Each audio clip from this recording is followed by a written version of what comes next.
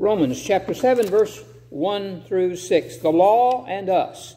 So Paul is talking about the law, and he's talking about being uh, dead to the law and uh, under grace rather than under the law, like that. And uh, so he just continues to do that. Now, when he gets uh, along later on, he's going to give us some advice as to how to live, uh, even though we're not under the law. I've got, I think I've got three points here tonight to bring to you. The first one is the force of the law, verse 1 through 3. Look at verse 1 now. Know ye not, brethren, for I speak to them that know the law, how that the law hath dominion over a man as long as he liveth. Um, now Romans 6:14 says that sin hath no more dominion over you. So he's repeating himself here again as he's been doing all along. He wants these people to know what he's talking about, so he keeps re- repeating himself. But if you know the law, you know that it has dominion as long as you live. Uh, we have natural law and we have Mosaic law. And in their uh, time, both of these had dominion over us. And um, they don't have dominion over the Christian, over the believer. In other words, they can't condemn them. That's what that means. It doesn't mean there is no law for us, it means it doesn't condemn us. Now look at verse 2. For the woman which hath an husband is bound by the law to her husband so long as he liveth. But if the husband be dead, she is loosed from the law of her husband. So Paul picks out one law, just one law by itself, and uses it as an illustration of how that we are under the laws as long as we live in these bodies.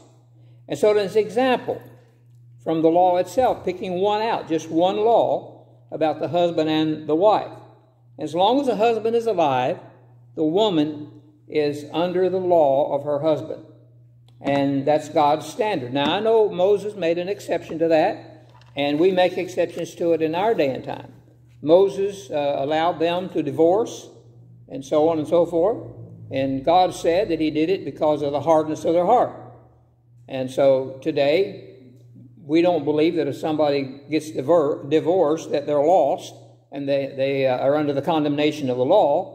And so, uh, even as Moses, under that strict law, gave an exception, we give exception today. But he's not teaching us that. He's not teaching us about marriage. He's teaching us about the severity of the law and how that is, its uh, dominion is on a person as long as that person lives. And the husband here is the law. He's a picture of the law. Verse 3 says, So then, if while her husband liveth, she be married to another man, she shall be called an adulteress. But if her husband be dead, she is free from that law. So he's just picking that one law so that she is no adulteress, though she be married to another man.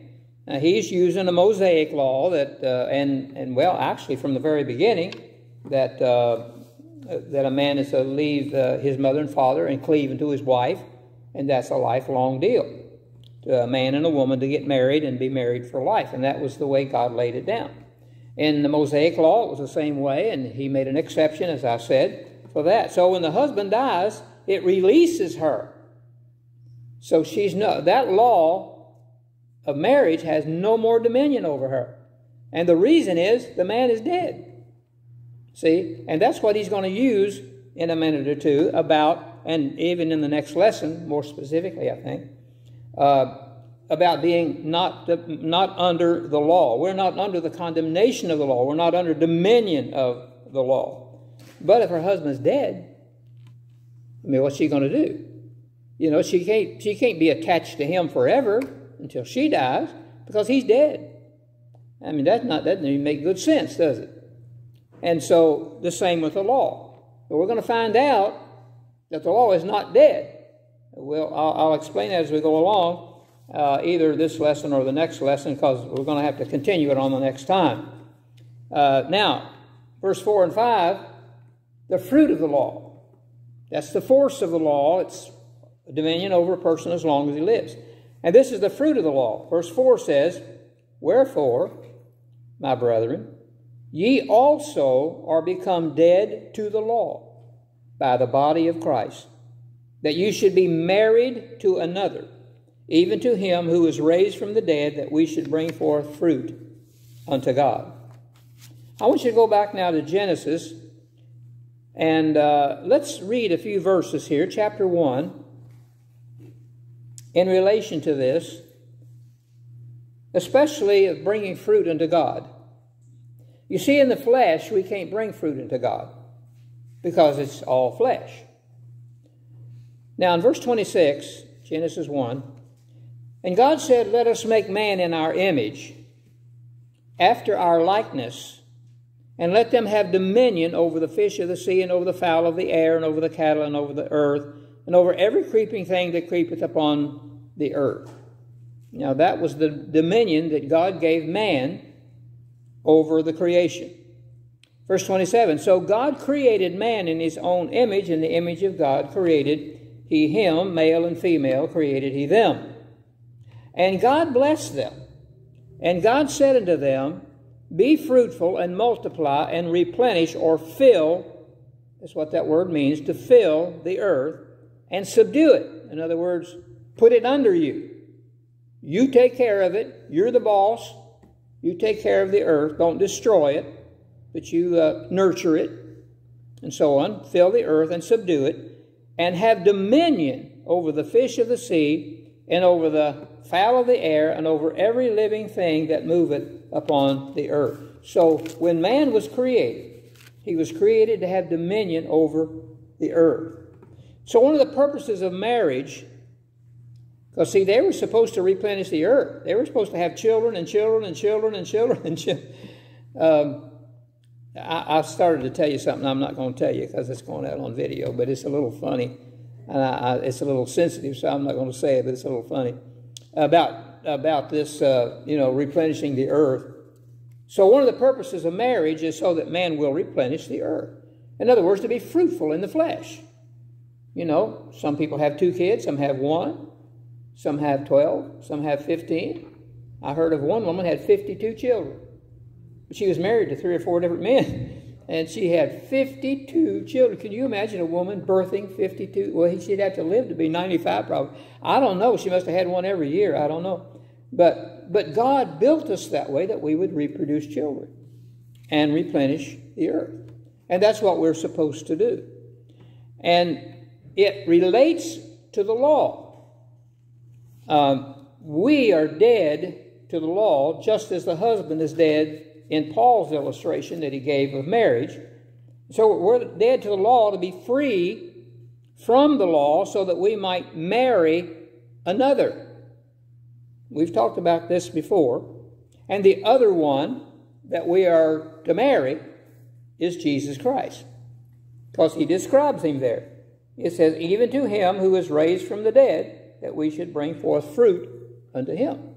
We cannot produce fruit spiritual fruit unto God until we're born again.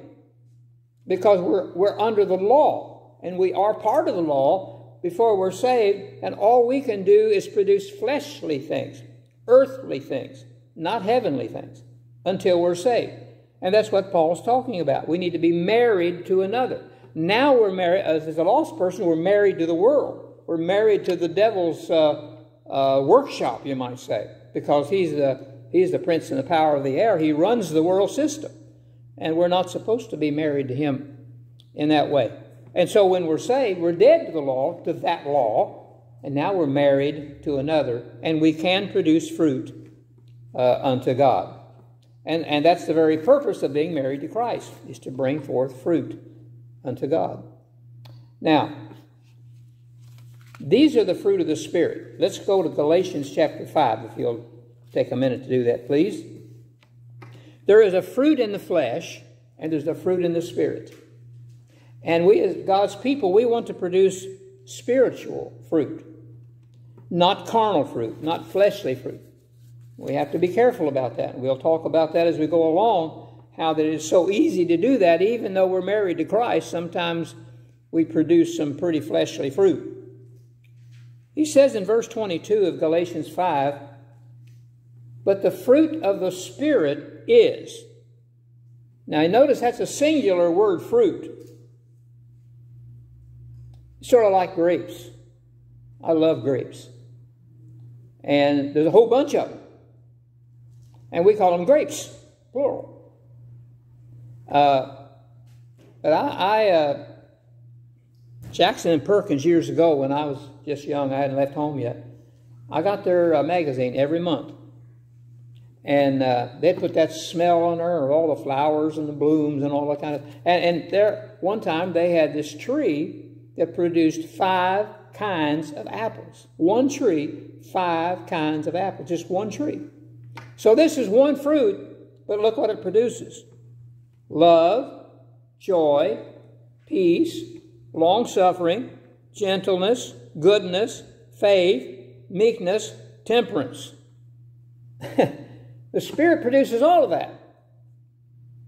And that's the fruit that we give to God as we live for the Lord and do His will. We produce this fruit of the Spirit. Actually, it's the work of the Spirit that produces it, but He uses us to do that. And then at the last of that verse, notice what it says Against such there is no law. So these can't be sin. If there were no law, there would be no sin. Well, there's no law against this. So none of this is a sin, can't be a sin, can't become sin. But they're all wonderful things, and there's no law against them. Isn't that great? Now, I'll just read to you Ephesians 5 9, unless you want to hurry over there. It says, For the fruit of the Spirit is in all goodness and righteousness and truth. So instead of a law against them, it is for goodness and righteousness and truth. Now, let's look in our text again. Let's go back to verse number 5. For when we were in the flesh, now we know that means before we were born again, before we were saved by God's grace. When we were in the flesh, the motions of sins which were by the law did work in our members to bring forth fruit unto death. Before we were saved, our fruit was unto death. Because this flesh is not going to last forever, it's going to die. So we're not producing anything that's eternal. We're not producing any true love and joy and peace and long suffering, gentleness and goodness and faith and all those things. No, we're, we're producing uh, in the motions of sin that we commit, we're bringing forth fruit unto death. And uh, so Paul brings out in this verse our used to be fruit, you know, what we used to produce when we were in the flesh. And I think we could put in there in the flesh only and not in the Spirit of God. Because later on we're going to find out, and he's going to mention to us more specifically, that when we're saved, we also still have the flesh. But he's going to talk about that later. And so we're saved, we have flesh. That's all we have. Carnal mind, carnal body, fleshly desires, lust, all that kind of stuff. So the motions of sin were in the flesh. And they were condemned by the law. That's why they were sins.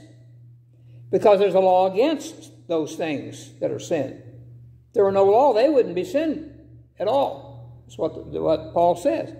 But there is a law, so those things are sin. Against the fruit of the Spirit, there is no law against it, so it can't be sin.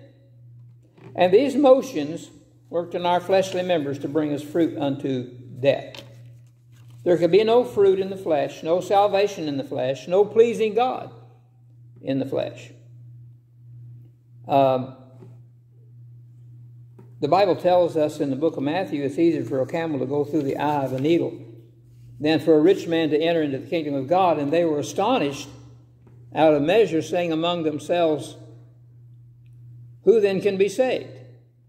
So if you can't produce salvation in your flesh, if you can't do good things to be saved, then who can be saved?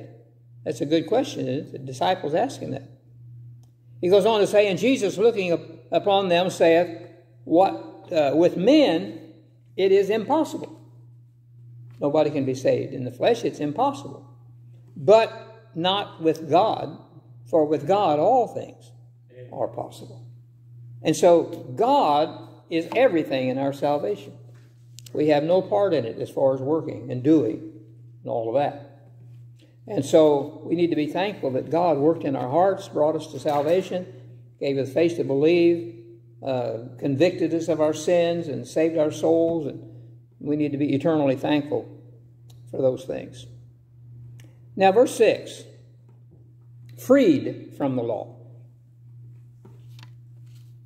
It says, But now we are delivered from the law, that being dead wherein we were held, that we should serve in newness of spirit and not in the oldness of the law. So there's the newness in the spirit. Now, you'll notice that word spirit there, the translators left it a small s, which means our spirit. Doesn't mean the Holy Spirit, it means our spirit. I think they're correct in doing that.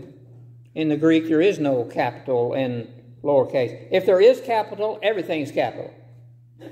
Have you ever noticed people writing their their text on Facebook or, or email or something and they'll put everything in caps. I hate that. I, it's so hard to read when everything is in caps. When I took Greek, I learned to read Greek in what they call the minuscules or the lowercase letters. And all of a sudden, I saw something in all caps, and, and they call, uh, and those were the ones that a lot of the manuscripts were written in later on in all caps. And I couldn't read it because they're not the same as the lowercase ones. Um, but the Bible says here there is a newness in that spirit. So this small s means there's a newness in our spirit. Not a newness, there's never any newness in the Holy Spirit, is there? And not in the oldness of the law. So our spirit, once we're saved, is a new spirit. The old spirit is the oldness of the letter. That's the law. So the old spirit is under the law and under the condemnation of the law and under the condemnation of sin. But when we're saved, we have a new spirit. And they live together in us, which we'll talk about uh, in detail in a little while. And so we have the new spirit and we have the old flesh. We don't have an old spirit and a new spirit, we have a new spirit and an old flesh. So, through justification, He's delivered us. And it's interesting, this word deliver is the same word as rescue. He's going to rescue us. So the Lord comes along and rescues us from being under the law, from being dead in sin and in darkness and in the world and in the flesh. So he comes along and rescues us. We don't run to him to get into his arms and love him. No, he comes and gets us. Because we're in the world, we don't know anything but the world. We don't understand spiritual things at all. So we're not we're not about to save ourselves or come to the place where we can approach Him. He approaches us, and He comes and gets us, and He rescues us. Have you ever seen a chicken hawk catch a chicken? Well, or even something everybody would know about is. Uh, is one of those seagulls or whatever birds that fly around the ocean. They come down, they get that fish, pick it up. That fish is not looking for that bird. That fish is not wanting that bird to come and get it. No, but that bird comes and snatches him, but he's not saving him, he's eating him. but that's what the Lord does to us. He comes and snatches us, He rescues us from the world. And the Bible says when we're lost, we're in darkness. We can't see any spiritual things. So he has to open our eyes, give us a new spirit, make us, us alive because we're dead in our sins and trespasses. Ephesians 2 1 tells us. And uh, so he says, We're dead concerning the law, wherein we were held. See, the law was holding us down. The law had dominion over us. The law was our boss. And here we are under this law, no way of escape, and God comes along with His Word and the gospel, and it comes to us, and He snatches us away and, and rescues us, puts us into His kingdom and into His family. Well, that's a wonderful thing, isn't it? And uh, the word delivered in this verse can also mean to make void. So he made the law void of its power.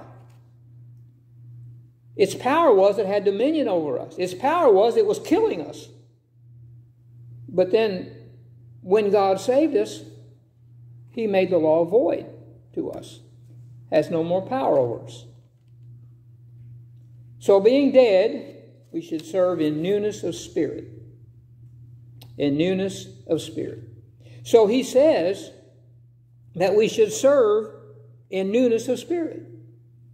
So, if we're if we have if we have a new spirit and if we have a new life and we have uh, sight that we can see spiritual things and understand spiritual things, why would we ever want to go back under the law and, and, and it have dominion over us? Why would we do that? Paul calls it the beggarly elements of the world. We don't want to do that. But then there are a lot of Christians who don't understand that. They want God to bless them and they want God to be their God and to deliver them and all like that, but they want to fool around with the beggarly elements of the world. They don't go together. You can't serve two masters because you'll either love the one, hate the other, or you'll look at one and, and like the one and despise the other one. You can't love two things that are different, exactly opposite practically. And so, in newness of spirit uh, and in newness of life, and not in the oldness of the letter or the law. Now, the Bible teaches us that the law is old, and it is, it's old. But in the New Testament, tell, it tells us that it was passing away. It was pa- the, the ceremonial law was passing away. Because when Jesus died, the ceremonial law wasn't even needed anymore. That's why I don't, I don't look for the Jews to build a temple. Now, you can believe what you want to about it, and I don't really care. You, you can believe they'll build two or three temples, as far as I'm concerned. But why would God want the Jews to build a temple and go through the ceremonial law when the Bible says it has been done away with?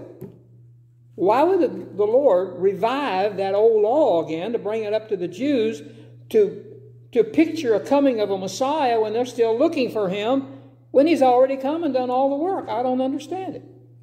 Now they might build a temple. Now they could. It'd be they, they tell me, Jews tell me, some of them tell me that it would be very easy to do. They could do it in a little bit of no time. If the situation was right, they could do it in just almost no time at all. And they may do that. But I can't believe that God wants them to do that in order to picture the coming of the Messiah because the Messiah is already here. All that would do is make them look farther for him to come in a future time. They're looking for him to come down and set up his kingdom. So I don't know. You can do whatever you want to with that. I might even be wrong. I don't know.